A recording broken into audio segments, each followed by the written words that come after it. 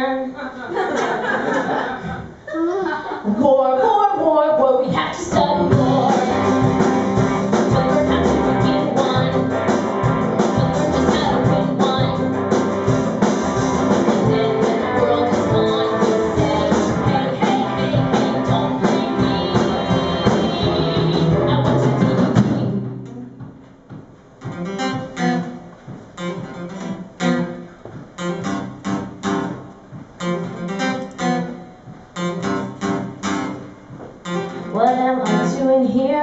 I don't belong here.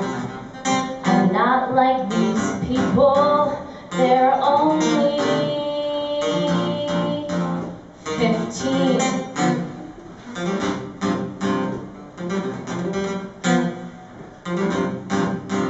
Yeah. I'm only 16, but I've got a real job. I'm a barista.